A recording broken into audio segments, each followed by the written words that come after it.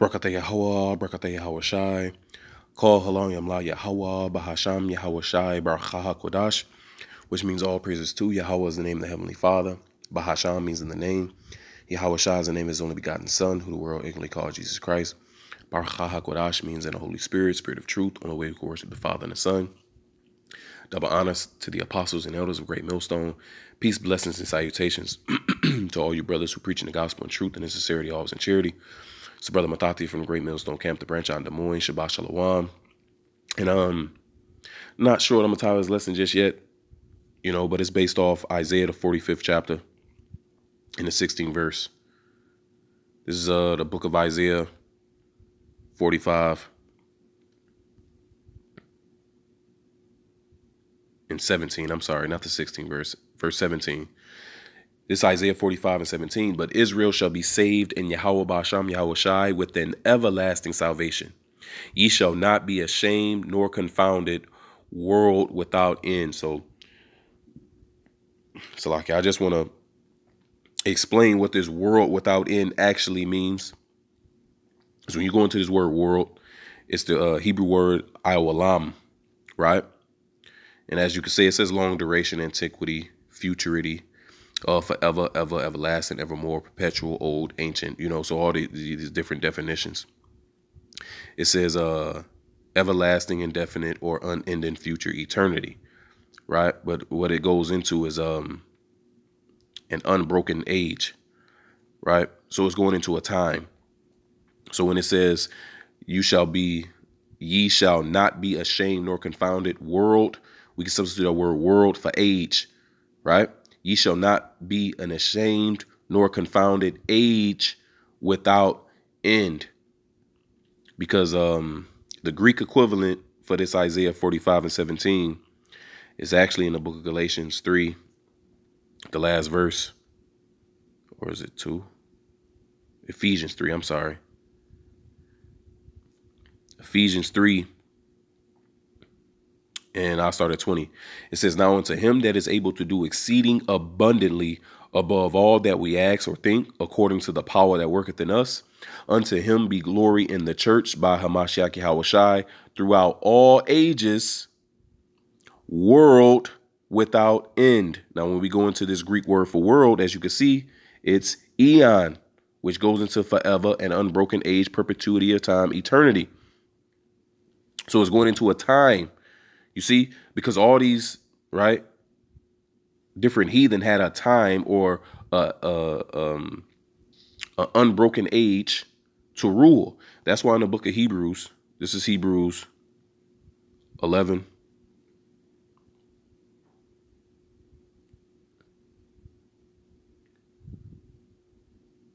Or am I looking at? No, no, I'm thinking of one. No, yeah, I am. This Hebrews 11 and 3. It says, through faith, we understand that the worlds, plural, were framed by the word of the Most High, so that things which are seen were not made of things which do appear. Now, when you go into this word worlds, it's eons. so each and every time frame or rulership that's been established on this earth was formed by Yahweh, Bahasham Yahweh Shai. That's why he tells us here in the book of Psalms, This is the book of Psalm 75 and 5. Lift not up your horn on high, speak not with a stiff neck. For promotion cometh neither from the east, nor from the west, nor from the south. But the Most High is the judge. He putteth down one and setteth up another. That's why he told us here in the book of Daniel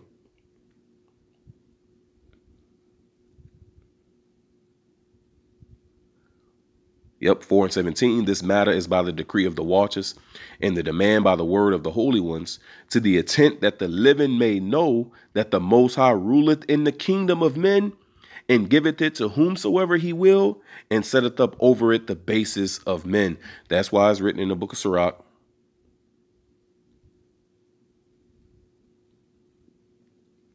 This is Sirach 10 and 8.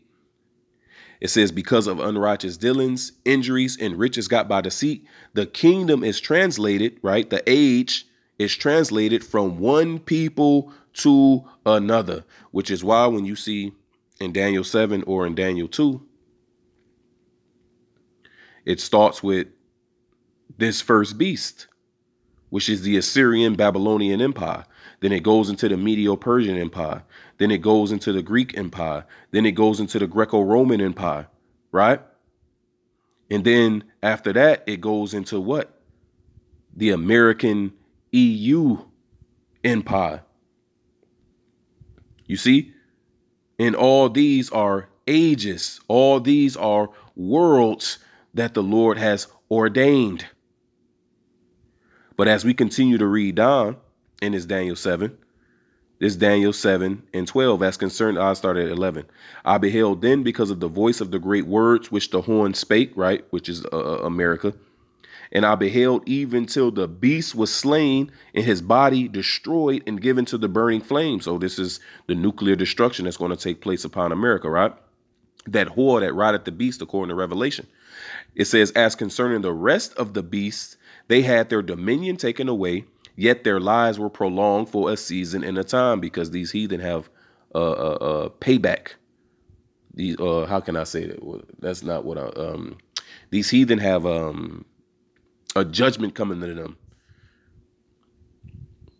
As they done unto us, it shall be done unto them. That's written in uh, the book of Obadiah, starting around verse 14 or verse 15. It says, As thou hast drunk upon my holy mountain, so shall the heathen drink continually. Right? So the things you done unto us, man, you led us into captivity, man. Your ass going into captivity, starting with Esau Edom, right? But in verse 13, I saw in the night visions, and behold, one like the Son of Man came with the clouds of heaven, being our Lord Yahweh Shai in the chariots, and came to the Ancient of Days. He was brought to the Most High, Abanawa Yahweh, and they brought him near before him.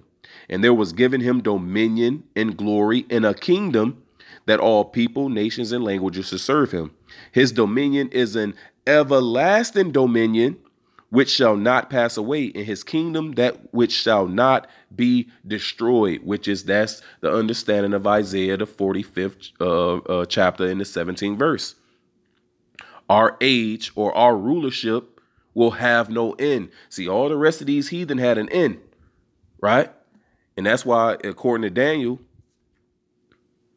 that last beast was america well it tells us here in the book of second ezra 6 and 7 Then answered I and said, What shall be the parting asunder of the times?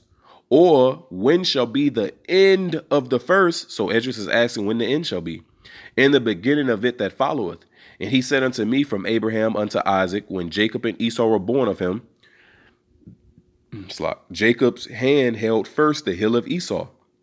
For Esau is the end of the world, is the end of the age, and Jacob is the beginning of it that followeth. You see?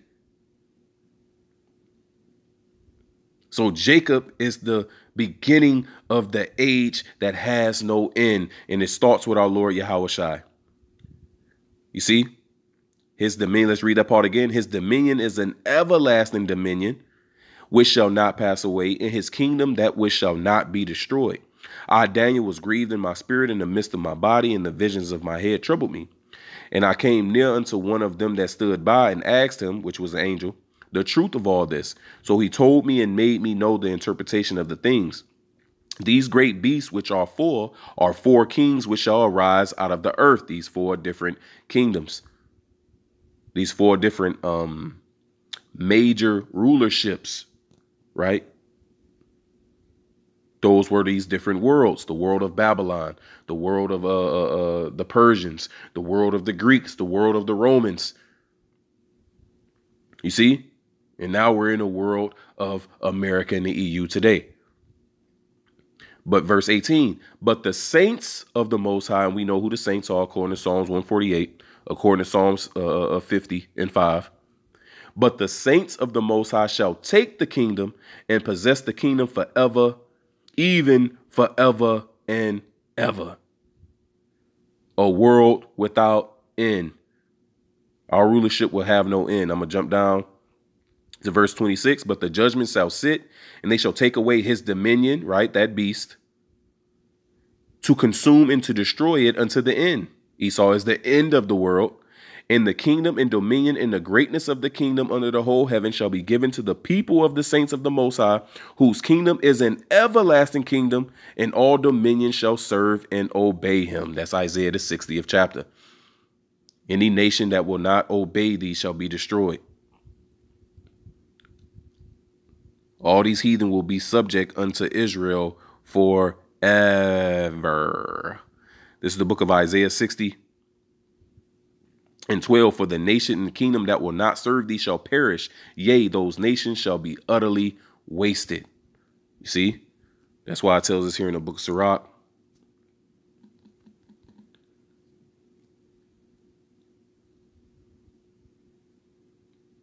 Is real. I ain't never spelled it like that. What the hell? And I spelled it like that again. What the hell is wrong with me? this is the book of uh Sirach. Might be like 17 or something like that. Nope, it's not 17. Sirach 37. This Sirach 37 and 25. The days of the life of man may be numbered, but the days of Israel are innumerable. You know? World without end. On top of being immortals. you know? But it's going into how there shall be no end of the kingdom of Israel, starting with our Lord Yahweh Shai. This is the book of Luke 1.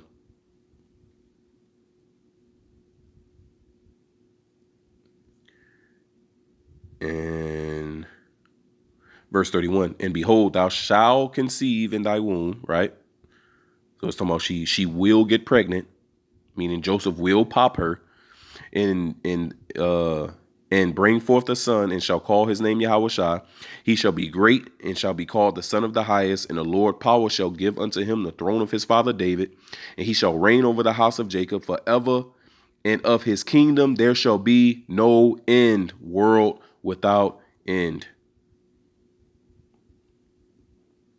Psalms 45 and 6 Thy throne, O power, is forever and ever. The scepter of thy kingdom is a right scepter. Psalms 89 36 His seed shall endure forever, and his throne as the sun before me. That's through our Lord Yahweh Shai. And the sun is a perpetual decree. Yep, we read that. Yep, yep, we read that, Daniel. Yep. So I think that's a good place to end it. Yep. Daniel 2 and 44. And in the days of these kings, in the days of, of America, the EU, right?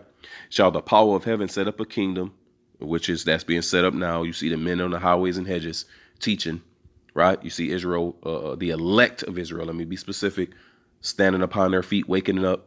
They have the breath in them which shall never be destroyed. You see? And the kingdom shall not be left to other people, but it shall break in pieces and consume all these kingdoms, and it shall stand forever. That's it. You know? So let's let's let's let's end it with the precept we started with.